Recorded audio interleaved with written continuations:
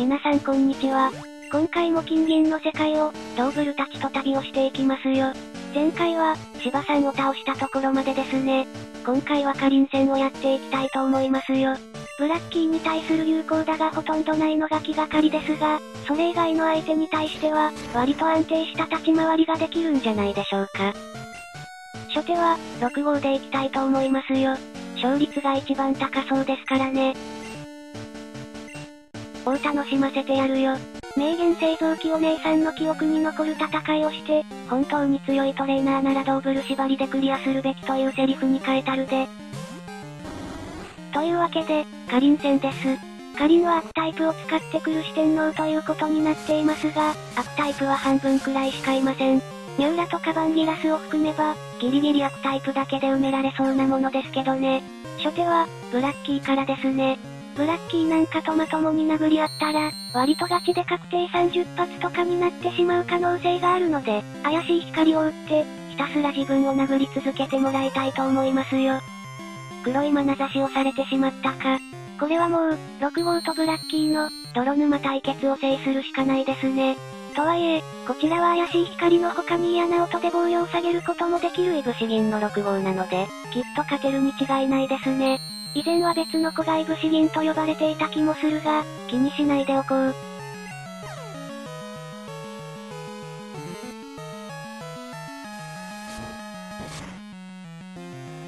まあまあ食らうやんけ。交代できないという現状。普通にこのダメージ量は苦しいものがあるな。よく見たら6号はブラッキーにしっかりと弱点をつける技を持っていたので、連続斬りを打って、ダメージを加算していきますか。連続斬りで抜群をつけるのであれば、それなりに火力も出てくれるでしょう。ひとまず混乱が解けてしまったので、もう一度怪しい光をかけ直したいと思います。火力で押し切れるだけの耐久があれば、そのまま連続斬りで押し切れるんですが、今の状況では、普通に押し負けてしよすよす。順調ですね。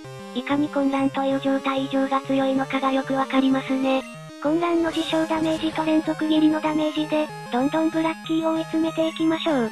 ブラッキーは、普通にやると結構な害悪な行動をしてきますが、こちらも害悪で対抗して上から攻めてやれば、どうということはないということですね。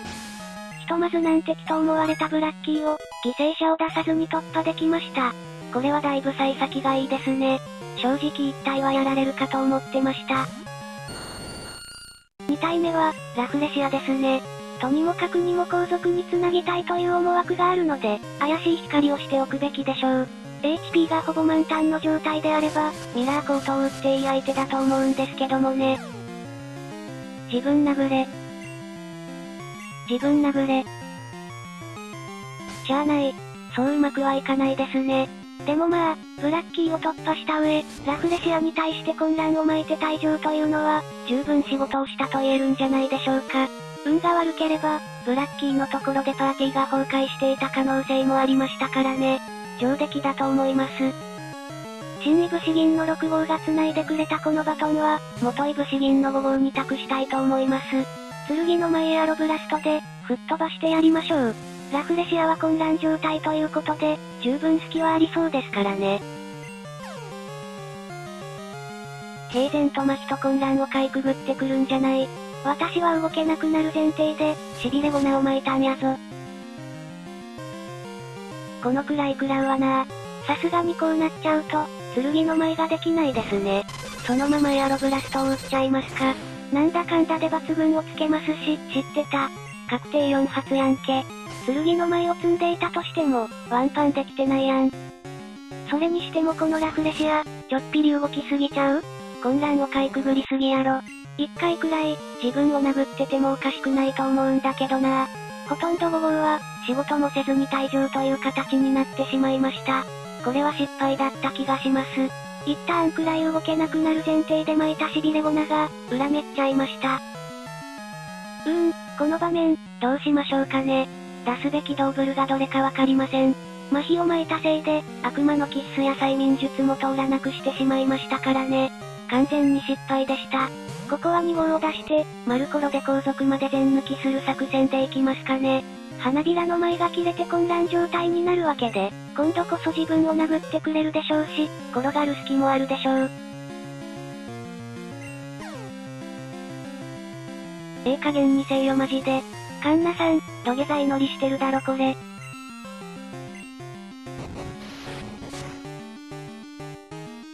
早いわ。どうなってんだこのゲームは。相手に流れが行き過ぎてるだろ。完全に相手が、校長という名のビッグウェーブに乗ってるわこれ。やばいな。ラフレシアでここまであかん。これは本当にシャレにラーカーラー。このラフレシア、動きすぎだろー。こっちはすぐに痺れるのに、相手は痺れないわ混乱で自分を殴ることもしないわって、不公平すぎるやろがー。種族値がこちらの約2倍あるんだから、もう少し忖度してくださいよ。ここは1号を出して、サイコキネシスで削っていくしかないですね。ラフレシアの後のことを見越して色々作戦を立てて行動していたんですが、東大元暮らしというか、目の前の敵に、ちゃんと目を向けるべきでしたね。相当苦しくなってしまいました。果たしてこのラフレシア選手は、一体いつになったら体が痺れるんでしょうか。麻痺は最強の状態以上だと思っていた時期もありますが、こうも相手に動かれ続けると、疑問が出てきてしまいますね。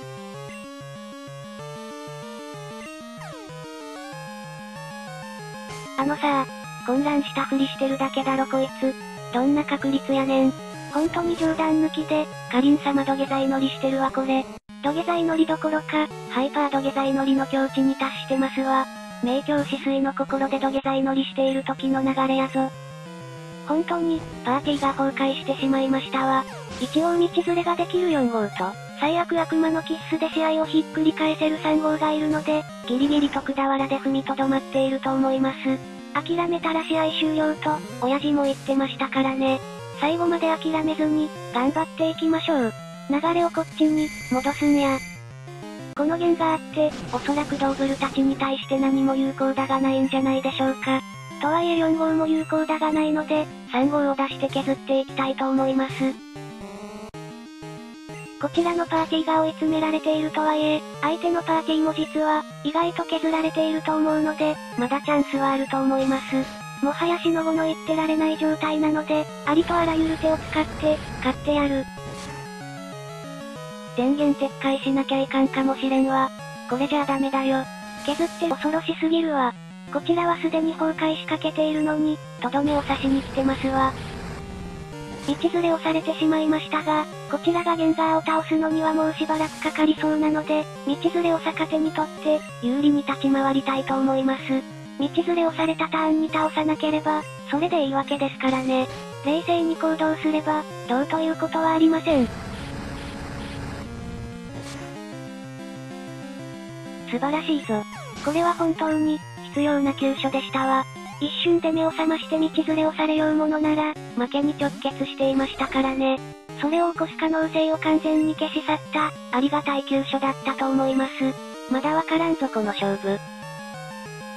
この場面、4号に変えて、ぜひとも道連れを打ちたいところです。3号にダメージを蓄積したくないという気持ちが強いです。所詮闇カラスということで大したダメージは食らわないでしょうし、後出しでもどうにかなると思います。最後に4号を残すのは、それイコール負けですし、3号の H、あ、くっそやべえわこれ。オーチョンボやらかしたわ。騙し討ちのダメージがシャレになってなかったのと、闇カラスに先手を取れないという、何もかもが想定外の事態になってました。努力値の分で、普通に先手を取れると思ってたんだけどな流れも悪いわ私のプレイングも噛み合ってないわで、相当苦しい状況です。あかんわこれ。地球投げの PP もないやんけ。これは相当やらかしてますわ。とにかく冷凍パンチで削って、どうにか突破したいですね。もう正直勝率は1%もない状態ですが、最後まで諦めず、せめてヘルガー戦の雰囲気だけは掴んで、次に活かしたいです。この試合に関しては、完全に私が悪いわ。正直こんなレベルでは渡るに行っても勝てるわけがないという考えがどこかにあって、PP 回復薬をケチった側面がありました。ひとまず闇カラスは、ノーダメージで倒せましたね。3号が奇跡を起こしてくれることに期待しましょう。うーん、どうするんでしょうね。悪魔のキッスで眠らせて、起きるタイミングで冷凍パンチで凍らせる、というパターンでいきますか。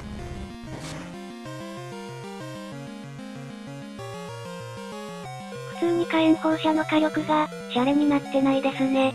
ギリギリ一発耐えられたというのは嬉しい情報ですが、これまともにやり合ってても苦しいものがあっただろ。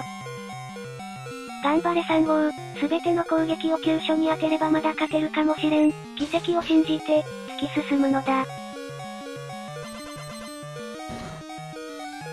はい。というわけで、今回はここまでです。ラフレシア戦でグダグダしなければまだわからなかったと思いますが、相当厳しい戦いになるのはよくわかりました。次回で勝てるよう、頑張ります。